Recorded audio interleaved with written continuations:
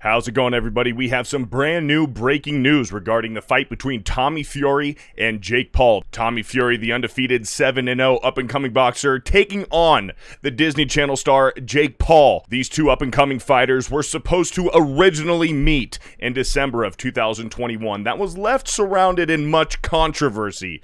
Tommy Fury had to eventually pull out of that fight in December because of a few broken ribs he sustained during his training camp that then eventually led into a chest infection. He claimed that's why he had to pull out of the fight in December, which led into Jake Paul having his infamous rematch against Tyron Woodley. Now, these two social media stars are set to meet on August 6th, 2022, in New York City at the Madison Square Garden. But today, June 28th, 2022, Tommy Fury has taken to his Instagram to share a bit of unfortunate information that Tommy Fury is not allowed access into the United States of America. Tommy Fury was set to travel to the United States for a for a promotion presser for this fight with Jake Paul. Tommy Fury claims that he was at the airport and was denied entry onto the airplane, taking him to the United States of America. Tommy Fury claimed that he was told that he knew the reason why, but Tommy Fury reassured us that he does not know the exact reason why, and that it's a more controversial government issue that he claims is more important than the fight itself, but he has not backed out of this fight. He still wants the fight to go on.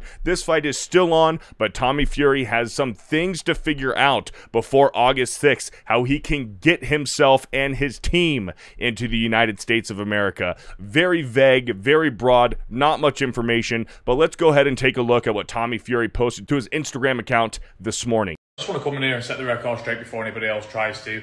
Me and my team this morning arrived at Heathrow Airport, ready for the press conference, ready to fly out. And as soon as we entered the airport, I got pulled to one side and I was told by the Homeland Security officer that was there that my ESTA had been denied and I wasn't able to travel to the USA for a reason that I apparently know. I can stand here and say I've done absolutely nothing wrong and I have no clue why I'm not allowed to travel to the USA.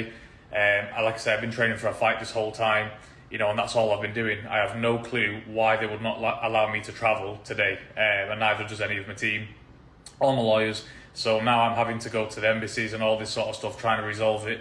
And I'm in the middle of training, guys. I don't know why this has happened today. It's a massive shock to me and my whole team. Obviously, it is a matter that needs to be resolved. It's government issues you know, it's a lot bigger than the fight right now, and I'm just trying to get it sorted. But I just wanted to let you all know where it was at. So there you have it, information straight from the horse's mouth. A lot of boxing fans were very much looking forward to this fight because they feel like this is Jake Paul's first real test against a legitimate boxer. Tommy Fury 7 0, giving Jake Paul his first real test. Ladies and gentlemen, August 6th is just five short weeks away. Tommy Fury against Jake Paul. Once again, up in question, up in controversy. Will this fight finally happen? Time will tell. But if you found this video helpful or entertaining, give it a like, I would really appreciate it. Share this video with a friend who you think would enjoy it. Subscribe to this channel if you're new, and we'll talk to you again soon.